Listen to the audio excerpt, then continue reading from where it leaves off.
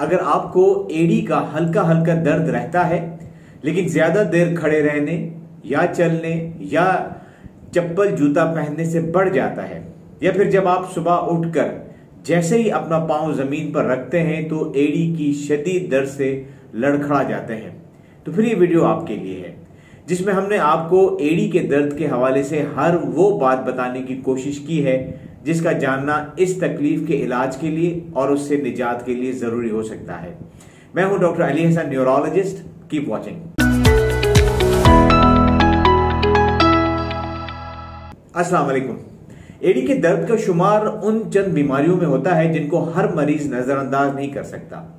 क्योंकि ये इसके रोज़मर्रा के कामों, चाहे उसमें खड़ा होना हो, चलना हो या भागना, को मुतासर करता है। हम अपनी आज की इस वीडियो में न सिर्फ़ वजूहत पर बात करेंगे, जो इस तकलीफ़ का बायस बनती हैं, बल्कि इसके इलाज के साथ वो तमाम बातें बशमूल एक्सरसाइजेस वगैरह भी बताएँगे, जो आप घर बैठे कर सकते हैं। लेकिन सबसे पहले हम पाओ को समझते हैं, फुट को।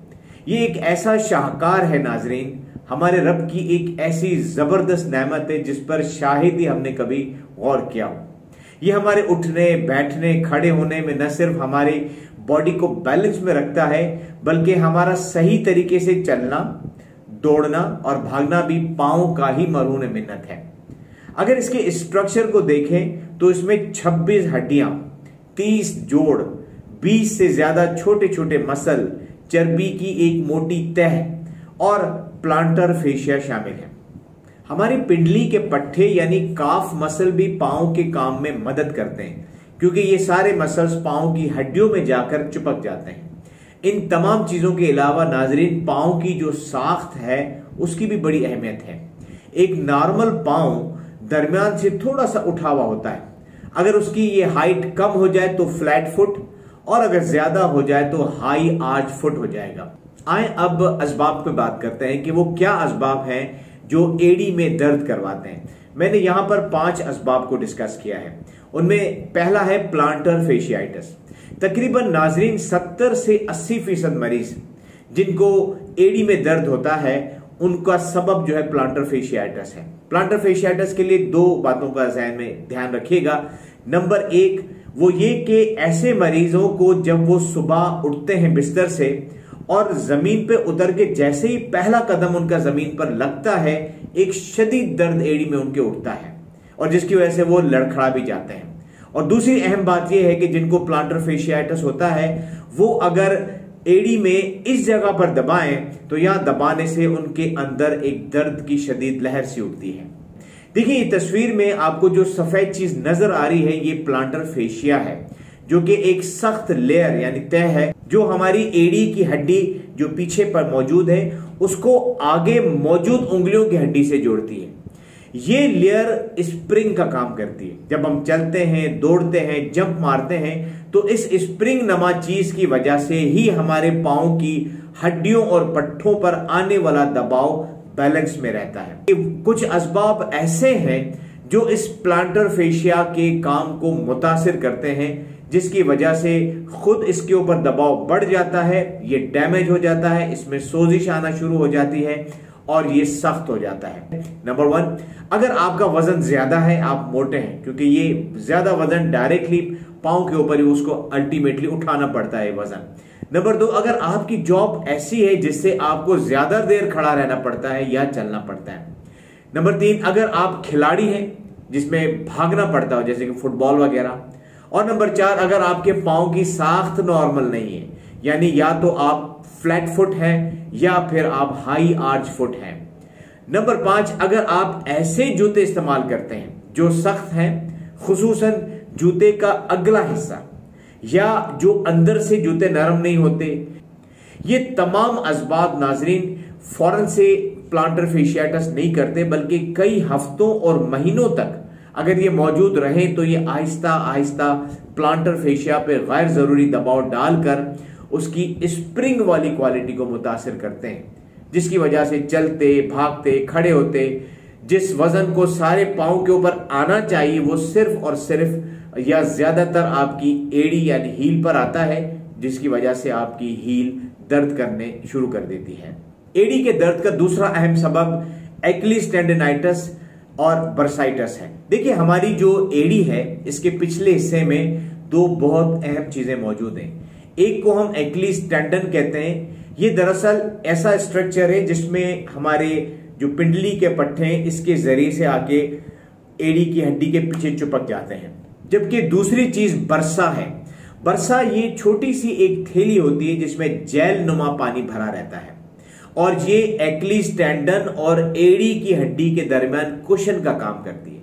बाज इनमें से किसी एक या दोनों में सोजिश या स्वेलिंग आ जाती है और ये दर्द करने लगती है। अगर आपका एडी का दर्द इस वजह से है तो इसके हवाले से भी दो चीज़ें याद रखिएगा। ये भी आ, मरीज़ जो है प्लांटर फेशियाइटिस की तरह जब सुबह में उठ के पहला कदम ज़मीन पे रखता है तो उसको शदीद दर्द होता है। और दूसरा इसका सबब यह कि इसकी जो जगह है वो नीचे के बजाय एड़ी के पिछली तरफ़ है। वहाँ जब दबाया जाता है तो मरीज़ को बहुत शदीद टीस उठती है दर्द की। एड़ी के दर्द का जो तीसरा अहम सबब है, वो है हील स्पर। नॉर्मली हमारी एड़ी की हड्डी, मैं उसे हील बोन अगर कहूँ, वो नीचे से सीधी होती है। लेकिन कुछ लोगों में हील बोन का जो निचला हिस्सा है, उसमें से एक नई हड्डी नुमा चोंच निकल आती है, जिसे हम हील स्पर कहते हैं। अगर ये छोटी सी हो तो कोई प्रॉब्लम नहीं होता, लेकिन अगर इसका साइज़ बढ़ने लग जाए हील के अंदर जो निचला हिस्सा है, उसमें दर्द होने लगता है। अगर आपके हील का दर्द हील स्पर की वजह से है तो हील या एडी के निचले हिस्से में आप दबाकर इस चोंच को महसूस भी कर सकते हैं।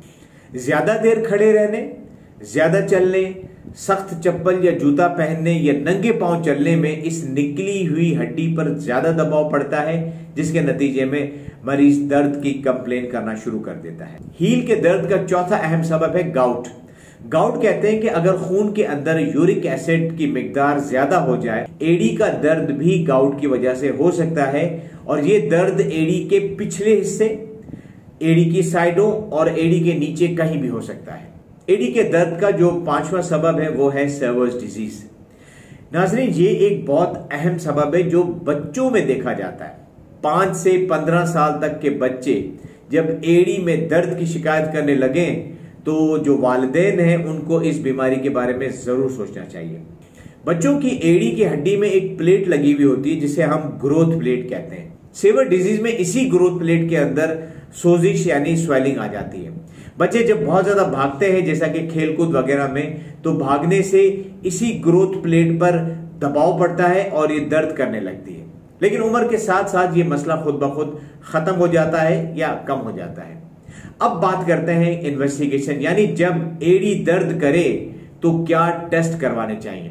मैं यहाँ पर आपको सिर्फ़ इब्तदाई टेस्ट बताना चाहता हूँ। उनमें नंबर वन है एक्सरे हील ताकि हम ये इसलिए करवाया जाता है ताकि हम देखें कि हील इस पर तो नहीं है। हड्डी जो नीचे चोंच वो तो निकली हुई नहीं है।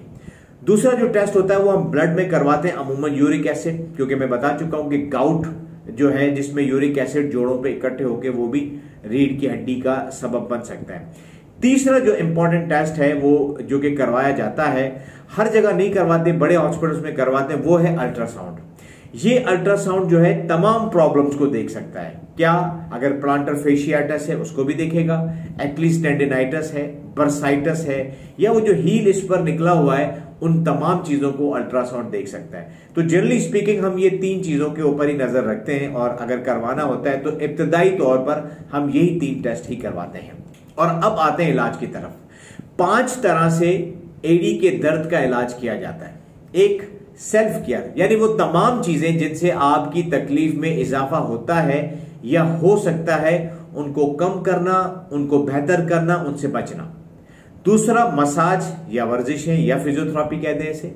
तीसरा, दर्द की दवाइयाँ लेना। और चौथा इंजेक्शन थेरेपी माने इंजेक्शन लगाना। और पांचवा सर्जरी करना।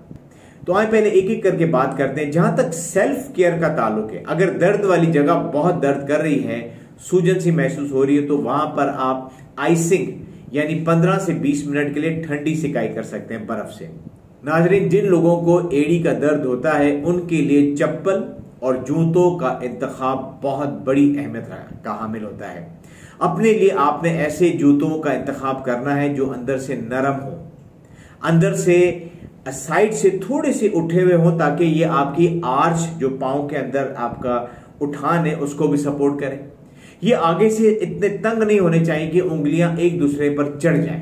बेहतर होगा आप ऐसे जूते या चप्पल इस्तेमाल करें जिसकी थोड़ी सी हील हो, ताकि आपका पाँव पीछे से थोड़ा सा ऊपर उठा रहे। इसके फ़ायदा क्या होगा? इससे ये होगा कि आपका वज़न बजाय आपकी एड़ी पर आने के पाँव के अगले हिस्से की तरफ़ डाइवर्ट हो जाएगा। कुछ मरीजों को सिलिकॉन हील पैड भी तजवीज किया जाता है, जिसे जूते में रख कर आप जूता पहनते हैं।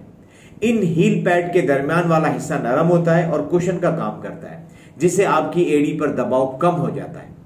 कोशिश करें नंगे पाँव ना चलें।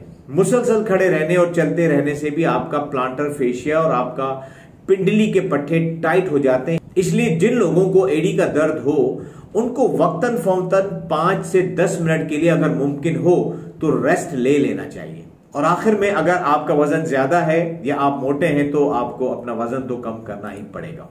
अब बात करते हैं मसाज और वर्जिश की। आप सुबह शाम पाओ के तलवों की चार पाँच मिनट तक मसाज करें। मैं आपको वर्जिशों के बारे में बताता हूँ। लेकिन अगर आपके इलाके में या करीब कोई अच्छा फिजियोथेरापिस्ट हो तो उनसे कंसल्ट करें। वो न सिर्फ़ आपको एक्सरसाइज सिखाएँगे, बल्कि करवाएँगे भी। और उसके अलावा उनके पास कुछ ऐसे इलेक्ट्रॉनिक टूल्स या डिवाइसेस होती हैं, जो आप पे अप्लाई करते हैं तो उससे दर्द में कमी भी वाक़ हो सकती है। लेकिन अगर आपको फिजियोथेरापिस्ट मैसर ना हो, या आप उनके पास जाना अफोर्ड नहीं कर सकते तो मैंने ये कुछ एक्सरसाइजेस बताई हैं, उनको आप समझ लें और इन्हें सुबह शाम करें तो इंशाल्लाह फ़ायदा होगा। नंबर वन आप बैठे बैठे खुद या किसी और की मदद से अपने पाओ की उंगलियों और अंगूठे को पकड़कर अपनी तरफ़ खींचिए। पाँच से दस सेकंड इसी तरह रखें। इससे तल, आपके तलवे में मौजूद जो प्लांटर फेशिया है जिसमें सख्ती आ चुकी होती है वो नरम होने लगता है। ये आप पाँच से सात मरतबा सुबह शाम करेंगे। और ये एक्सरसाइज खसूस वो लोग लाजमी करें जिनके अंदर प्लांटर फेशियाइटस की वजह से ये तकलीफ़ हो रही है। दूसरी एक्सरसाइज सीढ़ी पर या किसी ऐसी चीज़ पर खड़े हो जाएँ कि आपके आधे पाँव अंदर और आधे पाँव बाहर निकले हों। फिर ऊपर और नीचे दिखाए हुए तरीके से हरकत करें। जब आप ऊपर जाएँ तो पाँच सेकंड के लिए रुक जाएँ और फिर नीचे आए तो फिर पाँच सेकंड के लिए रुकें। एक दो मिनट तक ये वर्जिश सुबह शाम करें। इससे आपकी पिंडली के पट्टे यानी काफ मसल के अंदर जो खिंचाव है वो कम होगा। और जब ये खिंचाव कम होगा तो एक्लीस टेंडन के ऊपर जो है दबाव वो भी कम हो जाएगा। तीसरी वर्जिश, जिसमें पाओ के छोटे छोटे मसल्स को ताकत देनी होती है, ताकि वो पाओ को बेहतर तरीके से सपोर्ट कर सके। इसमें दिखाई गई तरीके से आप सुबह शाम एक मिनट के लिए ये करें। इसमें ये वर्जिश चार से पाँच मरतबा भी करना चाहें तो की जा सकती है। इसे आप चाहें तो बैठ कर करें, कुर्सी के ऊपर या खड़े होकर भी की जा सकती है। चौथी वर्जिश आप अपने पाओ के नीचे कोई टेनिस बॉल वगैरह रख कर इसके ऊपर पाओ हल्का हल्का चलाएँ। इससे भी आपका जो प्लांटर फेशिया है, उसकी सख्ती जो है नरमी में तब्दील हो जाएगी। अब आते हैं दवाई से इलाज की तरफ़। इसमें हमारे पास मुख्तलिफ़ किस्म के पेन किलर्स होते हैं, जो कि आपको मेडिकल स्टोर से बासानी मिल जाएँगे। लेकिन मेरी गुजारिश होगी कि आप इनको पाँच से सात दिन से ज़्यादा इस्तेमाल ना करें। और क्योंकि इनमें से कई दवाइयाँ ऐसी हैं जो कि गुर्दे को मुतासर कर सकती हैं। अगर आपने पाँच सात दिन इस्तेमाल किया और अगर आपको लगता है कि बेहतरी नहीं आ रही तो फिर आपको अपने डॉक्टर से रुजू करना पड़ेगा। अब इसका डॉक्टर कौन है? बेस्ट डॉक्टर न्यूरोलॉजिस्ट नहीं है। बेस्ट डॉक्टर आपके लिए होगा ऑर्थोपेडिक। क्यों? क्योंकि जब दवाई से फ़ायदा नहीं होता तो इसमें आगे के जो इलाज होते हैं, जिसमें इंजेक्शन और सर्जरी आती है। तो ऑर्थोपेडिक सर्जन अगर ज़रूरत महसूस करेगा तो वो आपको इंजेक्शन भी लगा सकते हैं। ये इंजेक्शन स्टीरोइड्स वाले इंजेक्शन भी होते हैं। और अगर ऐसा कोई सबब मौजूद है, जिसके लिए सर्जरी की ज़रूरत हो तो वो फिर सर्जरी भी करते हैं। सर्जरी में अमूमन दो बड़ी चीज़ें हैं। एक तो अगर वो चोंच निकली हुई है, जिसको हमने हील इस पर कहा, अगर वो है तो उसे भी ऑर्थोपेडिक वाला काटेगा। और अगर आपका जो प्लांटर फेशिया बहुत टाइट है और आपने अभी तक जितने भी एफर्ट्स लगाए फिजियोथेरापी की, मालिश की, दवाइयाँ ली, उससे उसकी टाइटनेस कम नहीं हो रही तो फिर उसकी, उसको सर्जरी करके उसे लूज किया जाता है। और इसके साथ ही हम इस टॉपिक को यही ख़त्म करते हैं। अगर कोई सवाल इस बीमारी से मुतालिक है तो आप उसे ज़रूर कमेंट बॉक्स में पूछें। आपसे गुजारिश है कि सदकाए जारिया की नीयत से इस इल्म को फैलाने में मेरा साथ दीजिए। इसे दूसरों के साथ शेयर करें। जो कुछ आपने समझा, जाना, सीखा, इसे दूसरों को बताइए। हो सकता है कि आपका ये बताना, आपका शेयर करना किसी की तकलीफ़ में राहत का बायस बन जाए। आप अपना, अपने प्यारों का और अपने इस चैनल का ख्याल रखिए। अल्लाह हाफिज़।